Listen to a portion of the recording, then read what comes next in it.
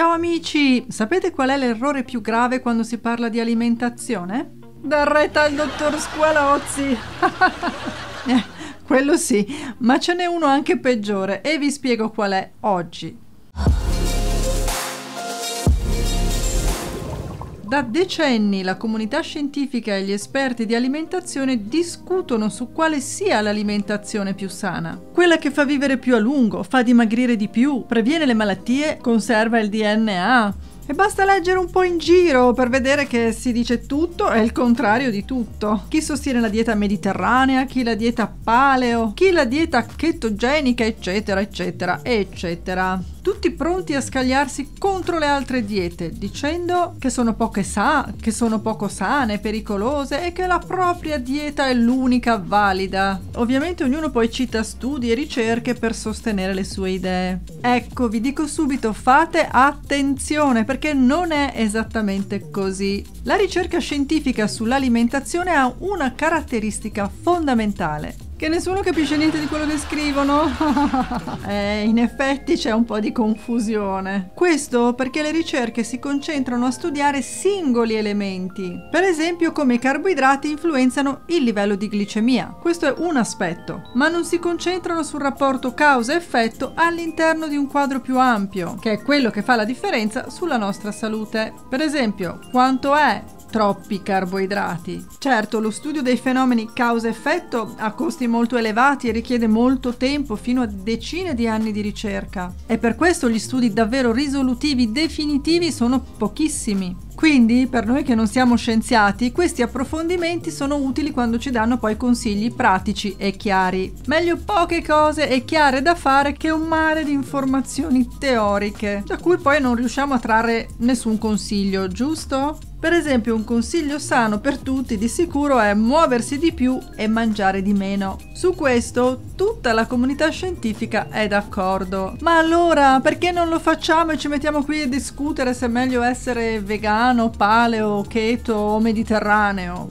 Lo so che mettersi a discutere su chi ha torto, chi ha ragione è molto più cool che mettersi a fare le cose veramente. Ma ricordate, la salute è una questione concreta, non è una questione di slogan o di chi è il più informato degli altri. Parlando di essere informati, ecco l'errore alimentare più grave, frutto della disinformazione. L'errore è considerare le verdure come un semplice contorno Ah, perché cosa sono, scusa? Allora, se guardiamo la piramide alimentare di qualunque dieta o stile nutrizionale, si capisce subito perché è un errore clamoroso. Quando tutti dalla Fondazione Veronesi all'OMS consigliano di mangiare tanta verdura più degli altri alimenti, è ovvio che non si tratta di un contorno, ma è molto di più. Non basta mangiare una carotina scondita per dire ah io mangio verdura. Ma sei sicura? Le verdure vanno mangiate in abbondanza, lo sostengono tutti gli studi e tutti gli esperti di qualunque dieta. Su questo almeno non litiga nessuno.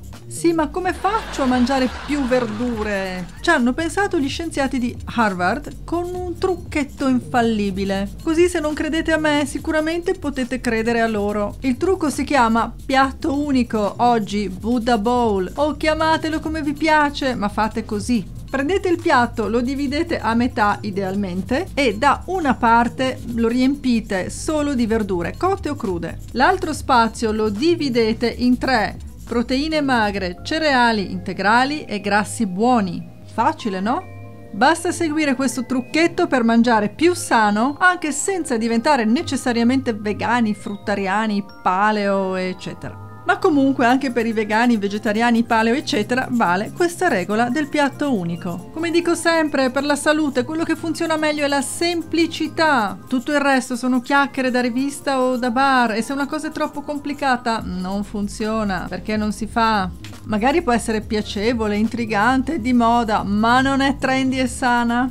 Amici trendy e sani, se vi è piaciuto questo video mettete un bel mi piace e condividetelo con i vostri amici sui vostri social. Iscrivetevi al canale e abbonatevi al canale. Noi ci vediamo al prossimo video, nel frattempo, ma sempre più trendy e sani, con Simona Vignali naturalmente.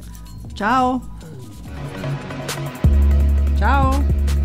Magari può essere...